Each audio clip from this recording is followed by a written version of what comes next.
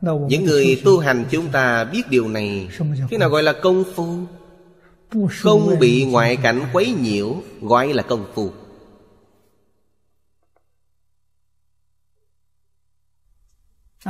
Khi ngoại cảnh quá mặt Phản ứng quấy nhiễu là gì? Hỷ nộ ai lạc ái ác dục. Đấy là phản ứng. Ta bị nó quấy nhiễu Khi cảnh giới này hiện ra Ta yêu thích là bị quấy nhiễu. Tâm giống như nước Như như bất động. Làm sao lại bị gợn sóng? Vì đã yêu thích Hoặc ghét bỏ nó Lại bị nó quấy nhiễu.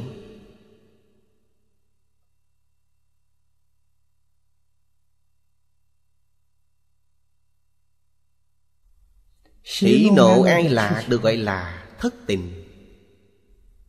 Nghĩa là khi ta bị quấy nhiễu Chắc chắn nổi lên tác dụng của bảy loại này. Hỷ nộ ai là bi ai? Yêu thương nó đau lòng.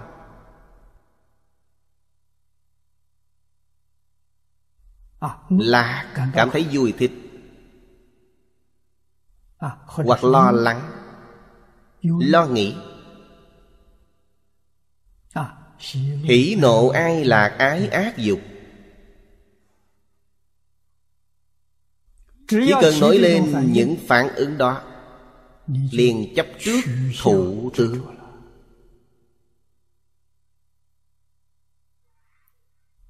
Đây là hiện tượng gì? Đây là dấu hiệu của lục đạo.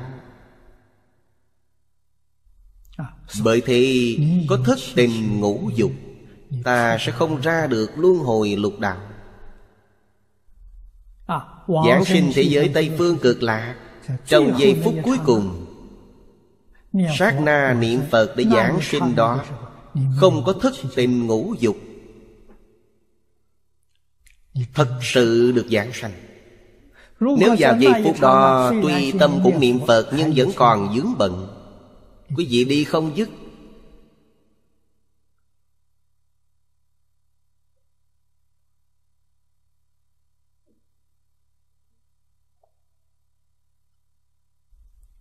Người niệm Phật không thể không hiểu điều này. Mục tiêu duy nhất của người niệm Phật chúng ta Là mong cầu giảng sinh. Bây giờ với tất cả các tướng Chúng ta phải làm nhạc nó. Vấn đề này rất quan trọng. Nghĩa là Với chấp trước thủ tướng Càng lúc càng nhạt khi đi, chúng ta mới thật sự buông bỏ. Nếu với tất cả các tượng vẫn còn quyến luyến, Đến lúc gần mất, Phật không thể đến. Tại sao tình chấp quá nặng? Tình chấp là chướng ngại.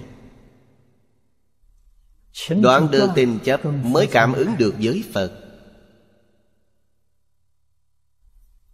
Bởi khi Phật đến tiếp dẫn Nhất niệm đó là Tâm thanh tịnh ta sẽ giảng sanh.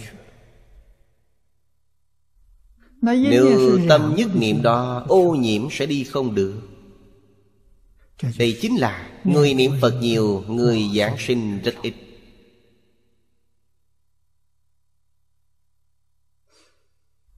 Không có chướng ngại sẽ đi một cách tự tại. Công phu rèn luyện của họ đã thành thục.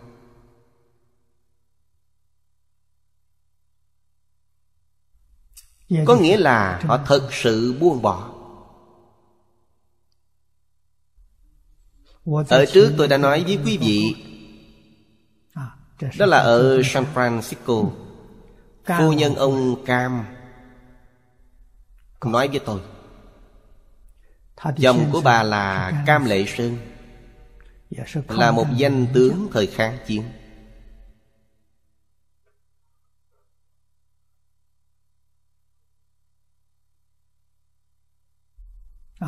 Tôi biết ông đã từng lãnh đạo quân đội.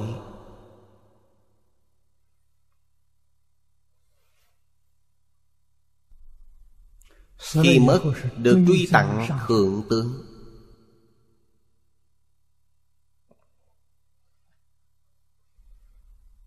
Người vợ về già sống ở San Francisco.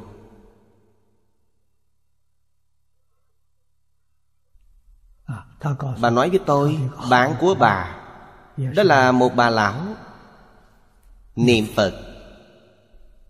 Giảng sinh tự tại. À, Ngồi mà giảng sinh. Những đồ tang Con cái, dâu rể, cháu chắc Bà tự may Nghĩa là bà đã lo xong hậu sự Lo chu tất Để con cái của bà không phải lo nghĩ. Ở nước ngoài Bà không cho ai hay. Khi nào đi cũng không biết. Sáng hôm sau mới phát hiện Bà đã đi. Thật sự buông bỏ Bà đã thấy chư tướng không phải tướng. Không còn một chút tình chấp. Quý vị xem Chuẩn bị chu đáo mọi thứ hậu sự. Chuẩn bị rất chu đáo.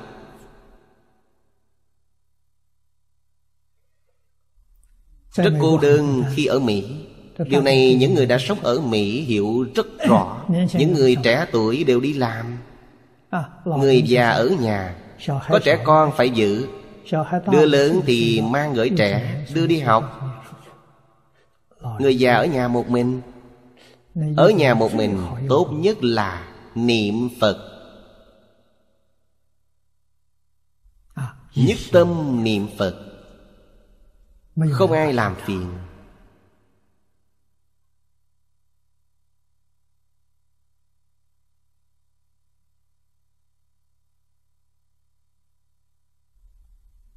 Nếu người già thấy quá trẻ nhà Quá đơn điệu. Vậy không còn cách nào. À, Người già thực tâm học Phật Đấy là Nhân duyên thù thắng nhất Để cầu giảng sinh.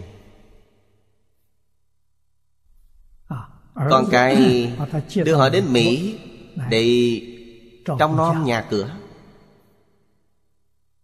Tất nhiên có dụng ý của họ. Ở Mỹ rất khó tìm người giúp việc à, Mẹ già đến Mỹ là để làm công.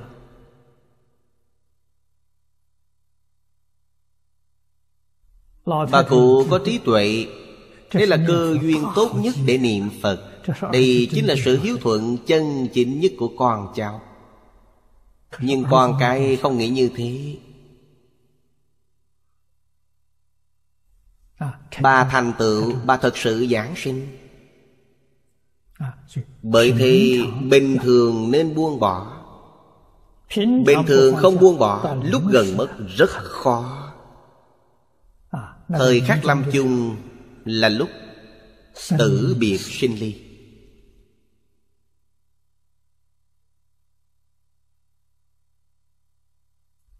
đây là việc cực kỳ đau khổ Nỗi thống khổ y sẽ rơi vào tam ác đạo. À, Không có phần trong thế giới cực lạc. Bởi thì nhất định phải hiểu được Trong lục đạo không có gì là thật. À, Giữa người với người nhất định được xem là gì? Tất cả chúng sinh vốn là Phật Mọi người là Phật. Bây giờ trở thành thế này là do gì? Do nghiệp báo Nghiệp mỗi người không giống nhau. Khi ý niệm chúng ta thay đổi Vấn đề sẽ được giải quyết. Tâm bình đẳng quá mặt Toàn là Phật. Bạn chịu khổ một tí Nghiệp chướng của bạn nặng. Họ sống thoải mái hơn Nghiệp chướng họ nhẹ. À, Họ tu thiện Bạn tạo nghiệp. Tất cả đều là Phật Mọi người bình đẳng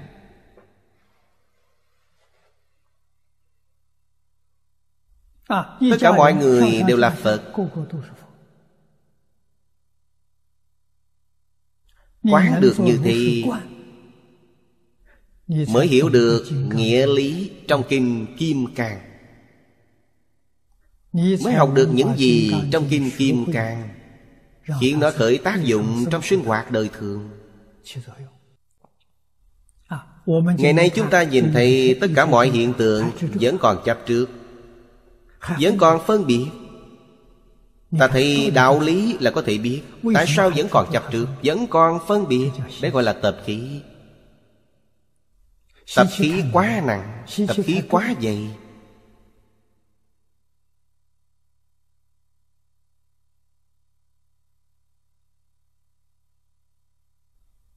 Tri giải của chúng ta không thắng được tập khí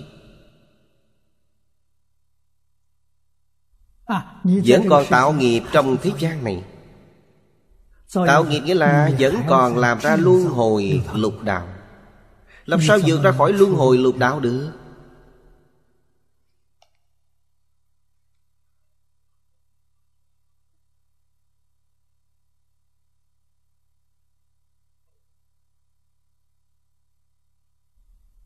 Làm sao chứng được?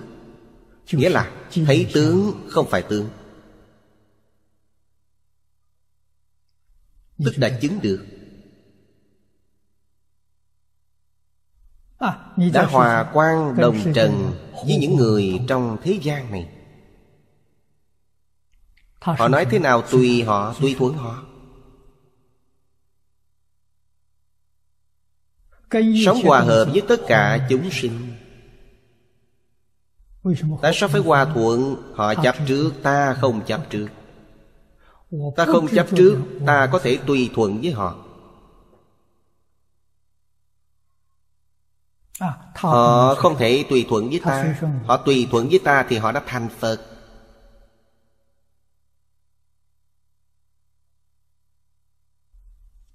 Tất cả ta đều tùy thuận họ Không để lại gì trong tâm ý Tại sao? Buông bỏ tất cả Không để lại một chút gì trong lòng? Tâm sạch sẽ Không còn tỳ vết.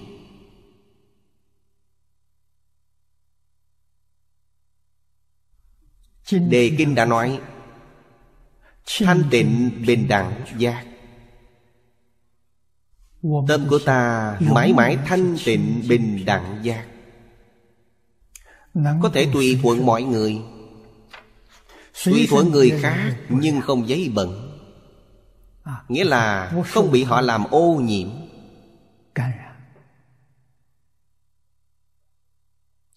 Đấy gọi là công phu.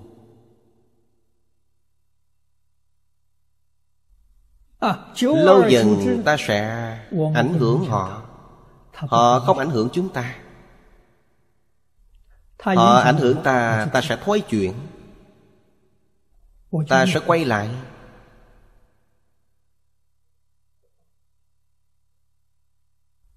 Ta không bị ô nhiễm Ta sẽ được nâng lên. Được nâng lên mỗi năm Được nâng lên mỗi tháng Được nâng lên mỗi ngày. Điều này quá tuyệt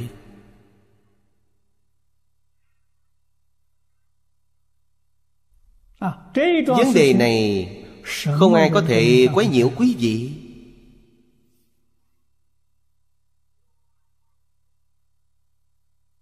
À, Bởi thì tất cả mọi người phải biết Người thực tâm tu hành Trong đạo Bồ Đề Là đến một mình và đi một mình. Không ai có thể quấy nhiễu được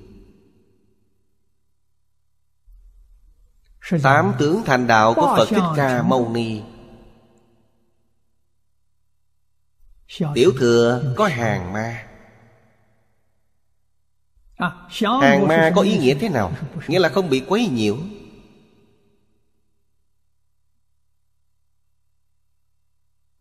À, Dùng những gì để quấy nhiễu?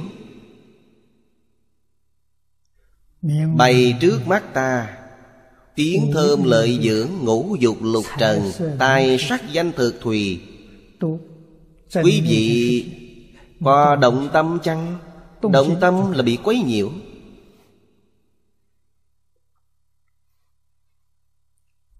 Không động tâm là đã thành tựu. Không động tâm là Phật Bồ Tát. Động tâm thì ta vẫn là phàm phu. Không động tâm Không những thoát ly lục đạo Mà thoát ly luôn thập pháp giới. Nếu động tâm Không những không ra khỏi luân hồi lục đạo Còn không ra khỏi dục giới.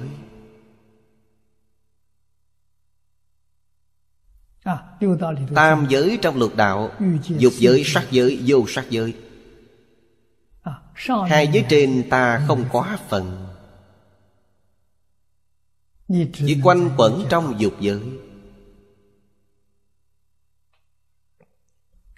Tại sao họ không nhìn thấu?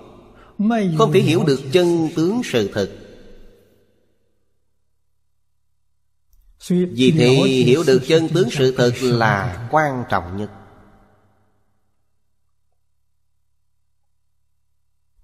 Lúc đó mới giúp ta buông bỏ.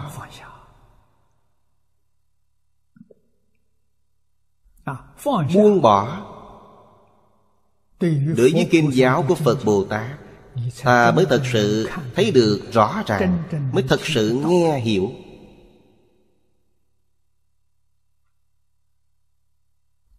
Nếu không thể buông bỏ Đấy là chướng ngại Chướng ngại những gì? Chướng ngại không thể nhìn thấy. Chướng ngại không thể nghe được.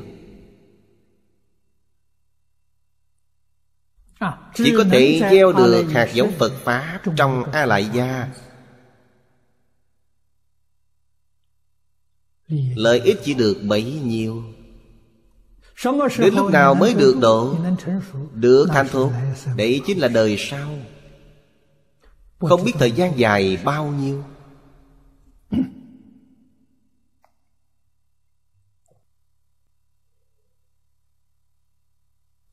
Tại sao một vấn đề hay như thế?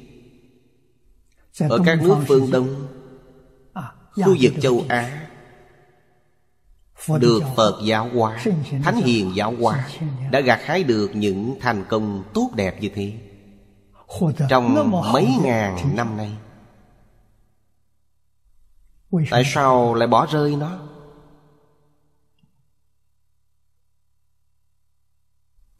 Tại sao lại hoài nghi nó?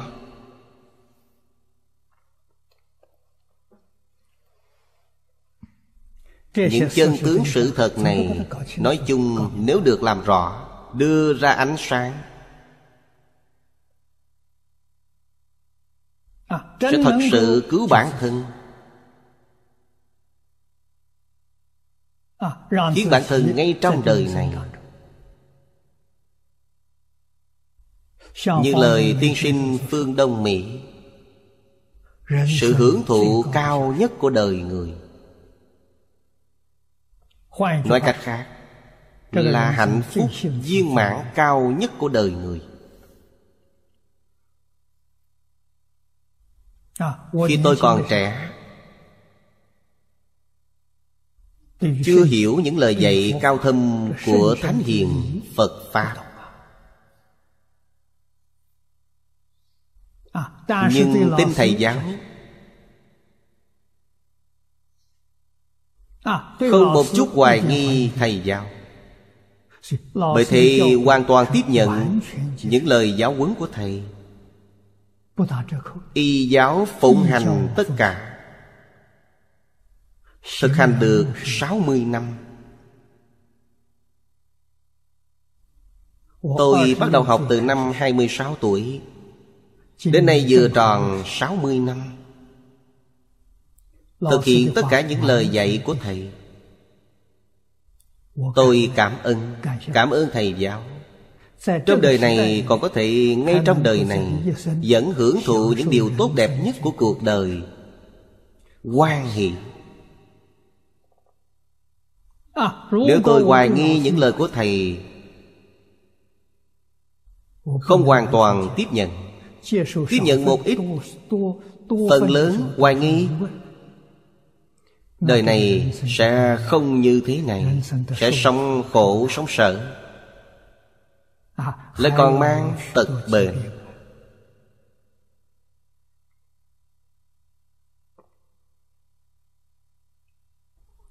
Rất mừng khi còn bé. Bố mẹ đã dạy tôn sư trọng đạo.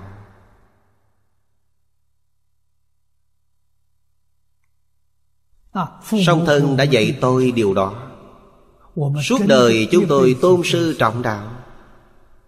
Nghe những lời giáo huấn của Thầy Đời này đã được thoải mái Được hưởng thụ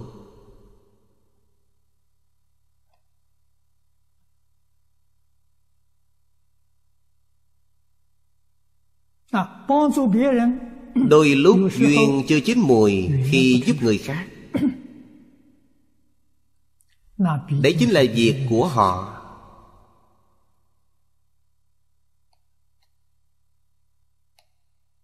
Tâm niệm giúp đỡ của chúng tôi là thật Không? phải đại bôi. Với chúng tôi vấn đề này không cần phải tốn nhiều công sức như thế. Công đức cũng đã viên mãn. Điều này. được Kinh Lăng Nghiêm nói Phát ý đã thành Công đức tròn đầy. Tôi thật sự phát tâm Không phải không làm Chưa có duyên làm. Duyên chưa chín mùi. Bởi thì công đức tròn đầy. Nếu duyên đã chín mùi Bản thân vẫn còn lo nghĩ Vẫn quyết tâm hết sức để làm. Duyên không chín mùi Công đức tròn đầy Không cần lo nghĩ Không ra sức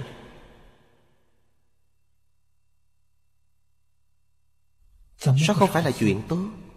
Đó là chuyện rất tốt. Thế gian có chuyện nào tốt hơn? Chúng ta đã hưởng được. Với tôi 60 năm nay Mỗi năm đều nâng cảnh giới của mình lên. Đây là niềm vui rất lớn. Như lời khổng tử nói Học rồi thực hành Đấy không phải vui sao Giáo lý Đại Thừa nói Pháp hỷ sung mãn Luôn sinh tâm hoan hỷ. An vui vô cùng.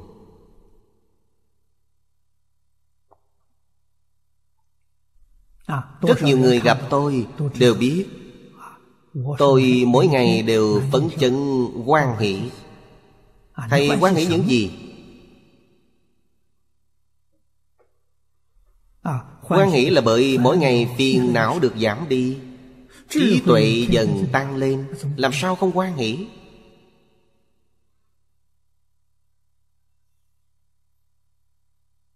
Thật sự biết được Đạo lớn của Thánh Hiền. Phật Bồ Tát là tự tánh mà có. Có gì hy hữu chăng? Rất bình thường. Tôi cũng có, anh cũng có. Chỉ vì anh mê thất tự tánh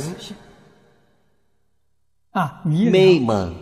Đem trí tuệ làm phiền não.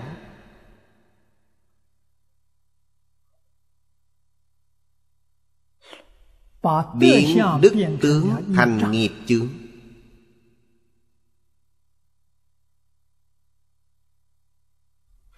Biến pháp thân của ta thành nhục thân.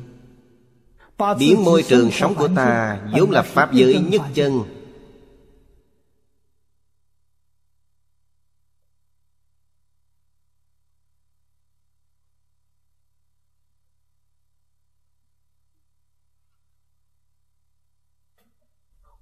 Môi trường mỹ mãn thù thắng vô lượng Trở thành tam đồ lục đạo.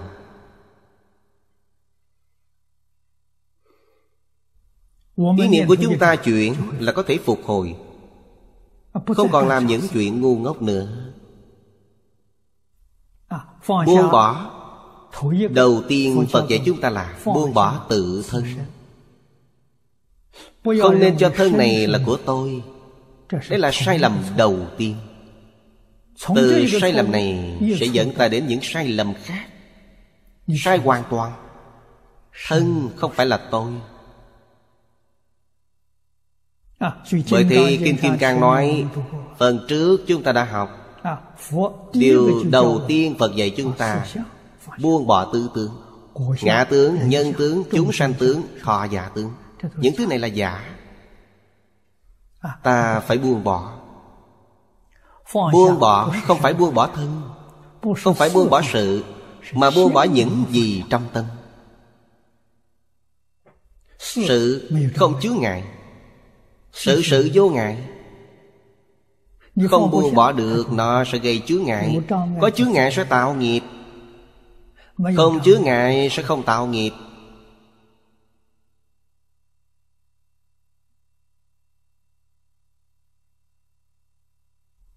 Chúng ta đã học bao nhiêu lần? Có lẽ mấy ngàn lần. Đã được thọ dụng số lần học của phật bồ tát nhiều hơn chúng ta. Việc thọ dụng của họ cũng lớn hơn. Họ tự tại hơn chúng ta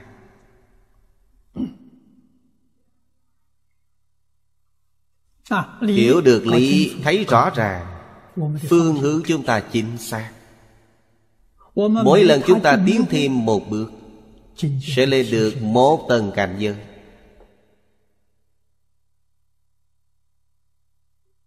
À, mà lại thế nào? Mọi người đều giống nhau. Phật thích ca mâu ni nói rất hay tất cả chúng sanh vốn là phật vốn sẽ thành phật mọi người đều bình đẳng. À, nếu ta cứ chấp chặt những thứ dạ dội cho nó là thực. À. đến chết không buông. Kết quả sẽ thế nào? Những gì ta có là luân hồi lục đạo. Luân hồi lục đạo không phải người khác tạo. À, Không phải Thượng Đế thiết kế. Không phải do vua Diêm La thi công. Không phải Cái gì cũng không phải. Do ý niệm bất thiện của ta biến hiện ra. Thiện niệm tạo ra thiên đường. Ý niệm bất thiện tạo ra tam đồ. Tự tá tự thọ. Không thể trách cứ ai cả. À, Không ai liên can cả. Lượng lớn tuệ lớn Phước huệ đều lớn. Lượng nhỏ Phước sẽ nhỏ Trí tuệ sẽ nhỏ. Trí tuệ nhỏ Phiền não sẽ lớn. Nếu phước nhỏ Tật bệnh sẽ nhiều. Phiền não nhiều Chuyện không như ý sẽ tăng thêm. Không phải như thế sao Tất cả đều do thay đổi ý niệm của chúng ta. Không liên can đến cảnh giới bên ngoài.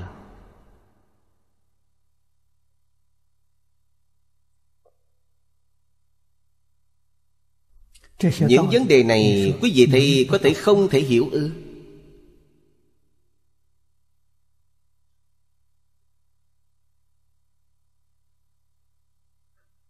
Nghe hiểu được thật sự học được. Có gì trong thế gian quý hơn những thứ đó?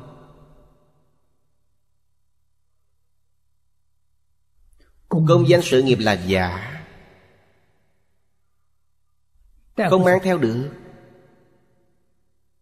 Trí tuệ này phước báo có thể mang theo được.